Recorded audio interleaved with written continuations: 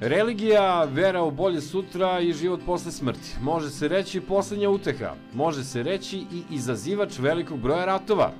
Ovo su pet najvećih religija na svetu. Peto mesto kineska tradicionalna religija. Skoro pola milijarde ljudi se ubraja ovde.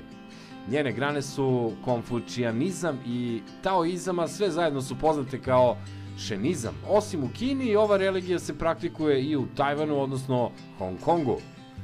Četvrto mesto, hinduizam. Ova religija je dominantna u Indiji i na indijskom podkontinentu. Veruje se da hinduista ima oko 800 miliona.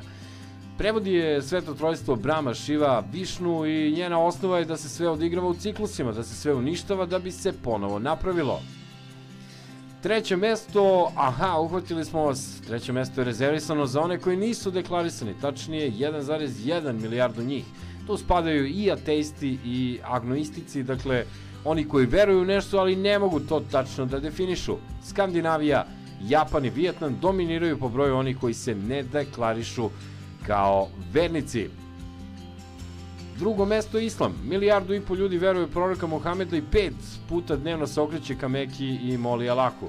Verovatno ne biste pogodili ovo, ali zemlja sa najviše muslimana je Indonezija.